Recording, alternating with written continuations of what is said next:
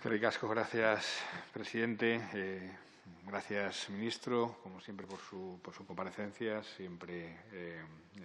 con muchos datos, con profundidad y con bueno, una fotografía clara de la situación de, del, del, sector. Por lo tanto, en primer lugar, agradecerlo. En segundo lugar, también, bueno, lo ha hecho usted, lo hemos hecho ya en esta comisión, pero, bueno, también queríamos recordar y, y, poner encima de la mesa la cuestión de, bueno, del Vila de Pitanso, que creo que nos, nos interpela a todos y nos interpela también en cuestiones que después a usted desgranado, como puede ser la cuestión del relevo generacional, de la seguridad, etcétera, etcétera.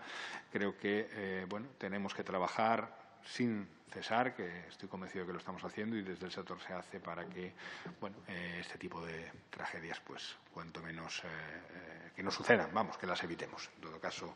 un recuerdo a los tripulantes y también a, las, a, las, a los familiares. En ese sentido, también, por cierto, felicitarnos de una, de una cuestión que era una demanda y que finalmente se, se, ha conseguido, como es la ratificación del convenio 188 de la OIT, que usted ha, ha puesto hoy encima de la mesa y que, evidentemente, pues también viene a mejorar todo lo que tiene que ver con las condiciones eh, laborales de. Con la. La ratificación del convenio 188 de la OIT, que viene a, eh, sin duda, vendrá a mejorar, es una demanda del sector, es una demanda que también, como sabe, pues eh, muchos de los grupos parlamentarios de esta Cámara, particularmente el nuestro, pues llevaba mucho tiempo detrás de ella y hay que felicitarse porque también redundará en, evidentemente, algo que nos eh, preocupa, que es mejorar las condiciones laborales del, del sector.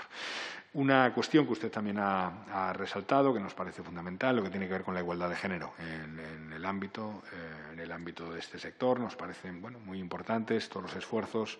a favor de la igualdad de género que se están enfrentando desde parte del Ministerio con el Plan de Igualdad de Género en el sector pesquero y acuícola, con el objetivo de equilibrar, normalizar y empoderar el papel de las mujeres en el sector. En todo caso, pues evidentemente, como todo lo que tiene que ver con la igualdad, queda un camino largo por recorrer, tanto en cuestiones como equiparación salarial, eh, como en la participación sociolaboral, como en la representatividad de las mujeres, y es un camino bueno, en el que sin duda se está trabajando, pero nos parece importante que hay que enfatizar que queda mucho todavía por delante.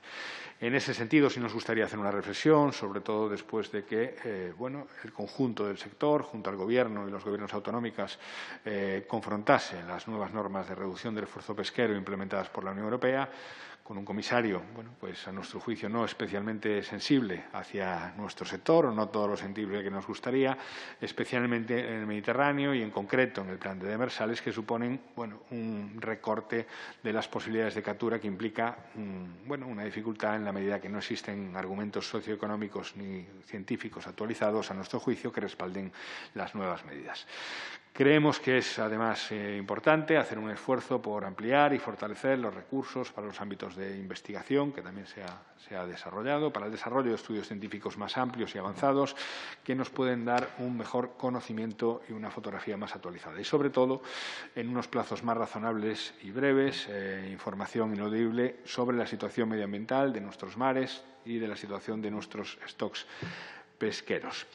Tenemos claro que, como usted y como el Ministerio, que sin duda eh, solo una base científica rápida y veraz puede ser la herramienta para la toma de decisiones sensatas, para el desarrollo y la implementación de medidas, ya sean vedas espaciotemporales, vedas permanentes, paralizaciones temporales de dos meses, medidas que pueden ser implementadas para el equilibrio social económico de la actividad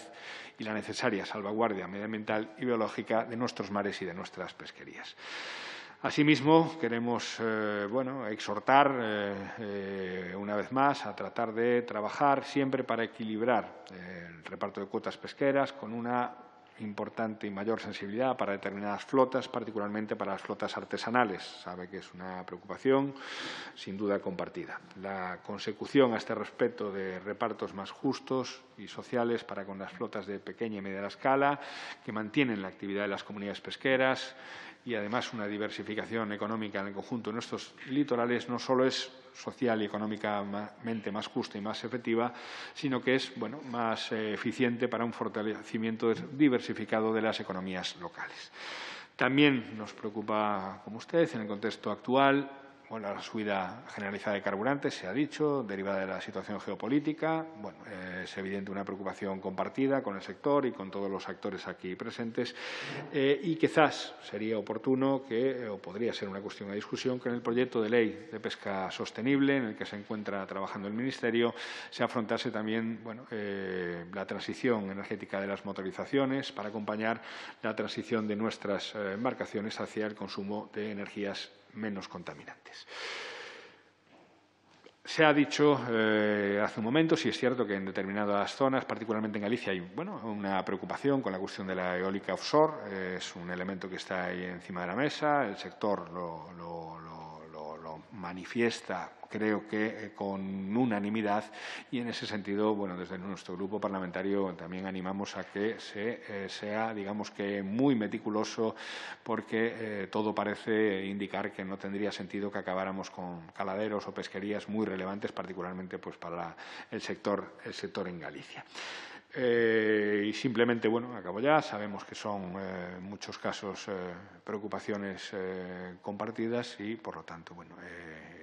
esperamos que, que se siga trabajando en ese sentido. Muchas gracias. Gracias, señor.